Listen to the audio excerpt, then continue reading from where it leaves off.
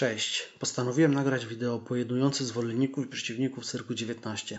W związku z Cyrkiem 19 zastanawiałem się, czy jest jakieś wyjaśnienie, dlaczego na całym świecie jedni automatycznie uwierzyli w przekazy rządów i uwierzyli, że mamy pandemię najgorszej choroby wszechczasów, a inni przyjrzeli się statystykom, wypowiedziom niezależnych lekarzy i naukowców i uznali, że Cyrk 19 to jest ściema.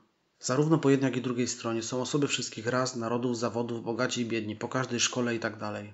Więc jaki czynnik decyduje o tym, czy ktoś wierzy lub nie wierzy w Cyrk 19? Ci, którzy zakwestionowali przekaz rządowy, zostali nazwani przez agresywne jednostki z drugiej strony społeczeństwa foliarzami, szurami i antyszczepionkowcami.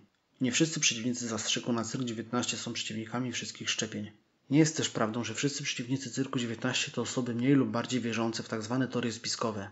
Więc w stosunku do Cyrku 19 zastosowanie wyjaśnień psychologów, dlaczego ludzie wierzą w teorie spiskowe nie ma sensu. Przeczytam teraz to wyjaśnienie. Podsumowując, do wiary w teorie spiskowe motywują ludzi powszechne i podstawowe potrzeby zrozumienia świata, poczucia kontroli, bezpieczeństwa oraz podtrzymywania pozytywnego obrazu siebie. Dla mnie jest to nietrafione wyjaśnienie, bo można tak również powiedzieć o ludziach, którzy nie wierzą w teorie spiskowe, co czyni je bezużytecznym. Próbując zrozumieć, dlaczego jedni wierzą w pandemię, a inni wiedzą, że nie ma pandemii, zacząłem zastanawiać się nad moją rodziną.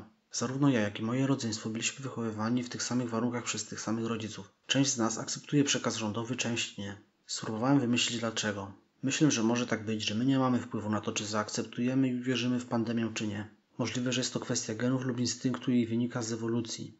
Cofałem się myślami w czasie i uznałem, że zawsze tak było, że jedni zgadzali się z władzą, inni nie. Wyobraziłem sobie prehistoryczne plemię, które musiało zmienić siedlisko, gdyż na przykład skończyło się jedzenie.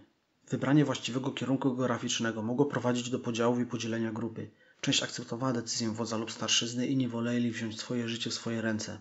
Może obie grupy przeżyły, może obie zginęły, a może tylko jedna wybrała właściwie. Więc jeśli jest tak jak myślę, że nie mamy wpływu na swoje decyzje i jest to kwestia genów lub instynktu, to nie ma sensu kłócić się i obrażać na drugą stronę. Jedni mają genetyczną lub instynktowną skłonność do wiary we wszystko, co władza im powie, inni to zakwestionują. Na geny nie mamy wpływu. Nie można mieć do kogoś pretensji za to, że się urodził biały lub czarny. Może to tłumaczy, dlaczego nie udaje się przekonać drugiej strony do swoich argumentów. Dzięki za oglądanie. Jak chcecie, to dajcie znać w komentarzu, co myślicie o tym. Czy może macie jakieś inne wyjaśnienie, dlaczego społeczeństwo jest podzielone, a wiadomo, rządzącym jest to na rękę. Można wtedy przepychać różne ustawy, gdy ludzie się kłócą. Dzięki, pozdrawiam Was i cześć.